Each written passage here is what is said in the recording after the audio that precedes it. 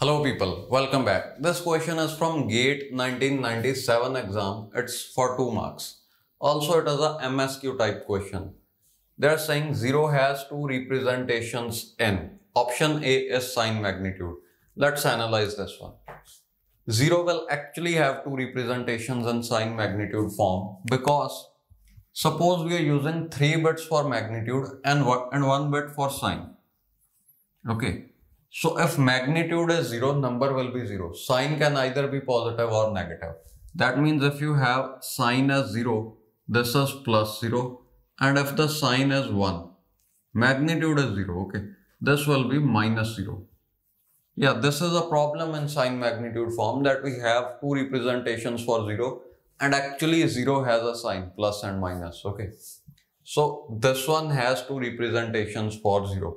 Similarly, 1's complement will also have two representations for 0. Plus 0 will be all zeros. Okay. Suppose it's 4 bit 1's complement representation.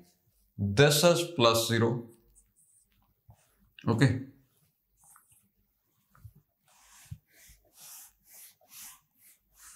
And minus 0 will be all ones.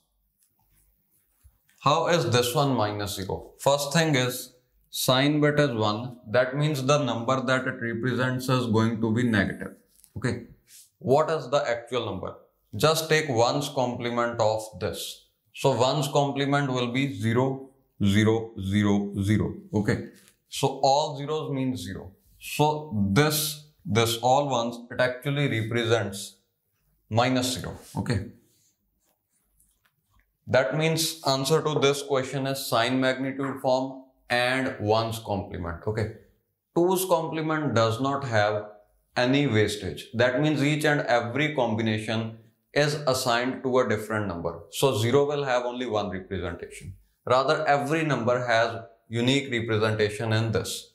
Only in sign magnitude and 1's complement, we waste one combination. That means 0 has two representations. Okay.